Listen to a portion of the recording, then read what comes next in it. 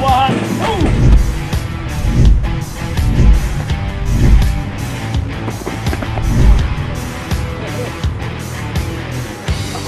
руки.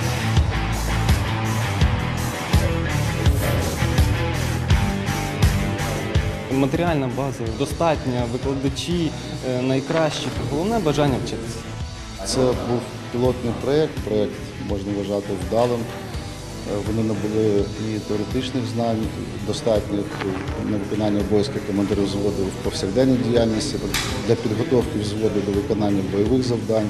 Вимоги до них ставляться такі, щоб вони були здатні управляти підрозділами рівня взвод, вміли ставити завдання на коригування вогню артилерії, визначати бойові завдання доданим танкам, гранатометним підрозділам. Вони сформовані як офіцери командири взводу. така як була програма підготовки, да, динамічна, да, виснажлива, але вона е, має право на життя і навіть більше. Вона повинна бути впроваджена і розвиватися.